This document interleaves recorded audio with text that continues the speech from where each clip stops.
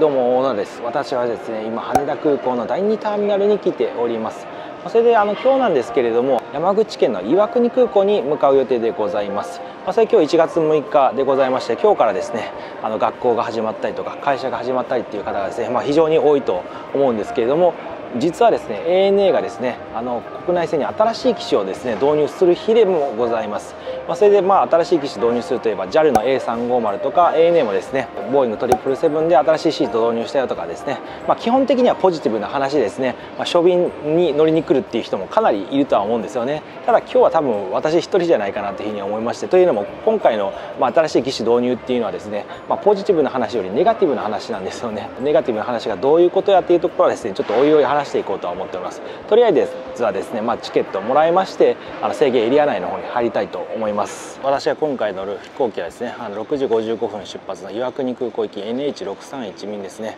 まだ空席もあるようですね。はい。というわけで搭乗券をもらいましょうか。今回のフライトなんですけども座席もかなり空いてますね。はい、このような座席私は後方のところはちょっと今回選びましたはいじゃあ搭乗券もらいました。制限エリア内入ってまいりました。今回68番ゲートから出発ということでもう一番端ですね。はい。でちょっと歩いてます。68番ゲートに来ました。岩国行きということです。ちょっと残念ながらここからだと飛行機が見れなさそうですね。今回乗る飛行機をですねご紹介しようと思うんですけれどもあの元バニラエアの飛行機なんですよね、まあ、そういう座席とかもねバニラエア LCC でございますので狭いまま ANA がですねあの導入するということでですねそれってまあ ANA としてはどうなのみたいなことですねちょっと言われてた、まあ、飛行機でございます。それが今日から運航開始となります。ちょっと私が乗るですねあの便を見てるんですけど ANA631 便ですね。こちらね 32G っていうふうに書いてるとは思うんですけどもそちらがですね元バニラエアの飛行機のまあ目印となっているものでございまして A320 でございます。まあ、今回ねそれがですね、まあ、どんな感じかっていうところですねちょっとレポートできればなというふうに思っております。まもなくしたら登場開始となりますのでもうちょっと待っておきたいと思います。ただいまグループ1番グループ2番のお客様ドアのお客様までをご案内しておりますありがとうございますはいいつもご利用ありがとうございますあちらが元バニラエアのですね飛行機となっておりますまあ元層はね ANA になってますので全然わかんないですけども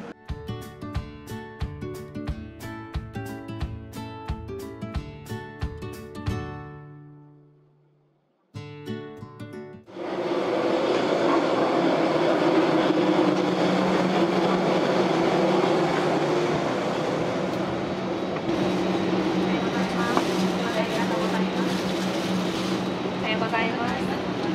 おはようございます。いらっしゃいませ。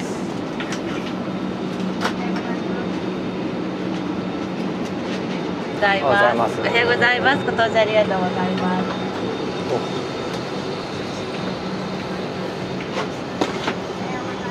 はようございます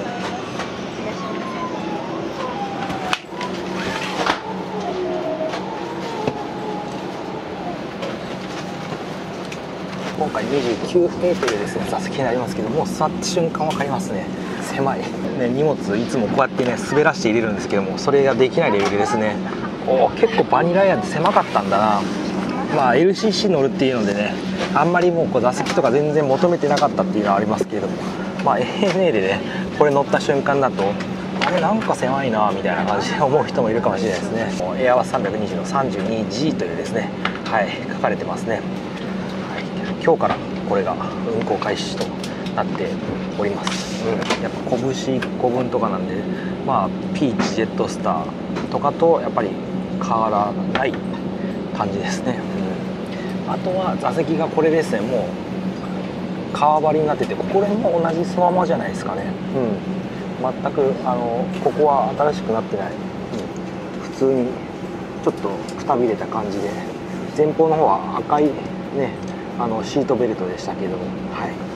このようなものとなっておりまして、まあ、普通のちょっと ANA はね青になってますのでなんか違うなって感じですかね。とてもなんか不思議な感覚です。これに気づいてる方っていうのはどれぐらいいらっしゃるかな。こちらがですね今回乗ってる私の飛行機で180席の座席となっておりますけれども従来 ANA も、まあ、エアバス320っていうのは国内線でも導入してたんですよね、まあ、それに関しては166席になるんですよ、まあ、飛行機全く同じサイズでございますので、まあ、なんで座席が違うんだっていうのは当然ね幅が横は一緒ですから33っていうのは一緒ですけども、はい、ここを詰めてですね、まあ、あの LCC っていうのはですねバニラエっていうのは運行されてたんですけどもそれがもう ANA はあのこれを引き継いだんですけども座席はねあのそのままということで、はい、運行されるということで、まあ、私が乗ってる岩国行きの朝一の便とかまたいろいろ富山行きとか小松行きだったっけななんかそういったのがですね、まあ、一部 32G っていうこのバニラエの飛行機になっております。631便をご利用いただきましてありがとうございます。Good morning, ladies and gentlemen. Welcome on board ANA of the crew of Star Alliance Flight 631 for 岩国。膨らみが足りないときは両側のゴム管を吹いてください。救命は脱出の今回ディスプレイもありませんので、はい、LCC みたいにこの、ね、安全の説明をしておりましたけれども、まあ、これは従来のエア320でも、まあ、ディスプレイ確かないはずなネオがついてるんですよねとりあえずはあの、ね、CA さんが安全の説明をしておりました。今回の飛行機はこちらですね。機体番号が JA01VA というものでございましてはい、まあ、こちら ANA 塗装になってますけどちょっと横にスライドすればはいもともとはバニラエアこちらのものだったというものですね。機体の年数は6年とかなんで新しいものですね。うん。でもやっぱりこう LCC で使われたということで、まあ、座席に関しては結構くたびれてる感がありますけどね。今回の便に関しては朝早すぎる便ということもありまして、あまり乗っておらず4割ぐらいといった感じですかね、うん、それで初便っていうとやっぱりねファンの方とか航空機ファン ANA ファンとかねあの集まることが多いんですけどもさすがに今日のフライトに関してはそのような方はですねほぼいないですね。1面だけビデオカメラみたいな回してる人がいたのでその方はもしかしたらわざとこれ乗りに来たのかもしれないんですけどもね。今回のやつはね別に元 LCC の飛行機っていうだけなんでね。はい。そこまで人が集まるとかっていうのは全くないようですね。到着は8時40分の予定です。Ladies and gentlemen, we are ready to take off.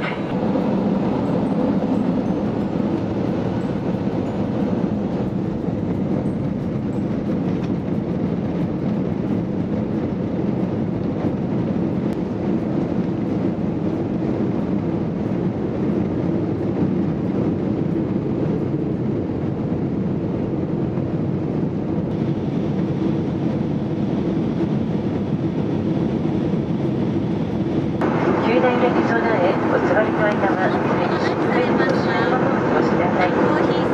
リクライニングを伝える際は、後ろのお客様にお入りください。座席がまあねあの LCC といってもちゃんとこういった機内サービスはありますただこう座席も若干やっぱり窮屈感がありますね出したらもう、ね、ここにお腹が当たりそうなぐらいスペースのなさです。いただきます。アップルジュースうまい。まあ、今回はこのバニラエアの、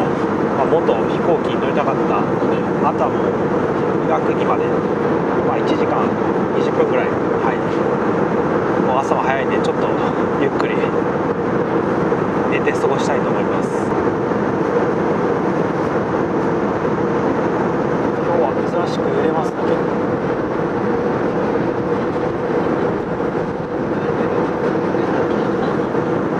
まもなくしたら、はい、山口県岩国初めてですねはい楽しみですあと座席は特に私リクライニング保しなかったんですけども結構古い飛行機とかにありがちなんですけど勝手になんか後ろ下がってたみたいで CA さんに直してくださいと言われたのでくたびれてる、はい、今日から ANA で運行開始にもかかわらず、はい、そんな座席ですね。一応言っときますとこれはカバーをちょっとめくればこんな風にエアアジアの文字が出てくるっていう、まあ、これは見ちゃダメなやつですね。まあもともとはエアアジアジャパンのやつだったんで、はい、そういったものとなっております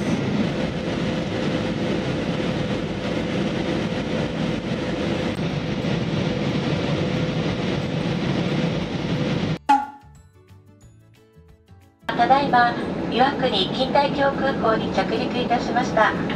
ベルト着用サインが消えるまでシートベルトを締めになったままお待ちくださいスターライアンスメンバー ANA をご利用いただきましてありがとうございました。次のご搭乗をお待ちしております。Dear gentlemen, we have landed at Iwakuni Airport. 岩国空港に到着いたしました。本当にでも岩国空港って米軍になるのかな？飛行機がたくさんありますね。外はちょっと映せないんですけどはい。こちらの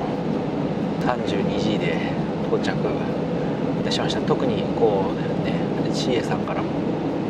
ハヤットの方からこれは元バニラ屋の飛行機ですとかそんなアナウンスは一切ありませんでした、まあ、無事ついてくれてよかったです。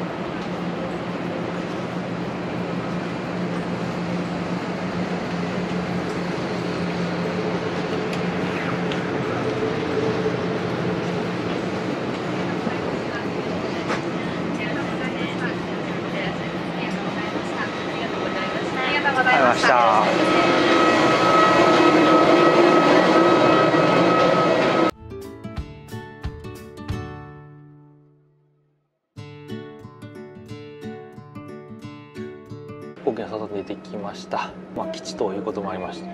はいとても広々とした空港です。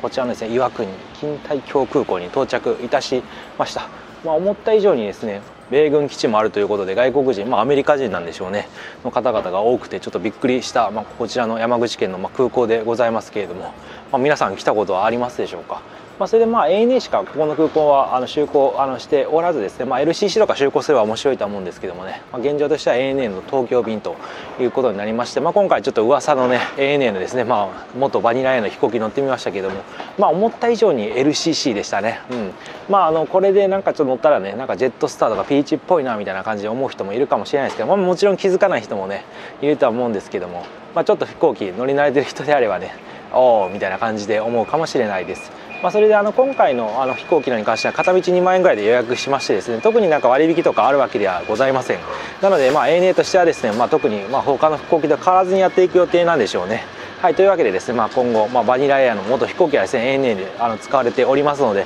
まあ、一部の飛行機なんですけどもね、まあ、もしよかったらですね皆さん乗ってみてください。乗りたくない人は避けてください。32G って書いてたらですね。それになりますので。まあバニラエア結構、まあ、ラストフライト乗ってですねファンが多いっていうのもですね私あの前回のまあ、そのラストのフライトでですね気づいた点なんですけれども下手な、まあ、海外の航空会社に売られるよりはですね、まあ、バニラエアのファンの方々にとってはですね、まあ、ANA で使われるっていうところはですねいいところなのかなというふうに思ったりもいたしましたね。まあ、本来であればまあピーチがまあ、ね、路線引き継いでるのでピーチがまあ、ね、持つべきなんでしょうけれども、まあ、ピーチは機材が余ってるのか、まあ、ANA が今回はですね、まあ、引き継ぐという流れになったようでございます。まあ、というわけでこんな感じで今回の動画終わりたいと思います。あのバスも出るので岩国駅に行かないといけないので、まあ、この動画面白かったら役に立ったってぜひ高評価チャンネル登録お願いしますまた Twitter、Instagram ブログやってますフォローチェックしていただければ非常に嬉しいですまたぜひともなんか乗って欲しい路線とかありましたら教えていただければ幸いです。それでは。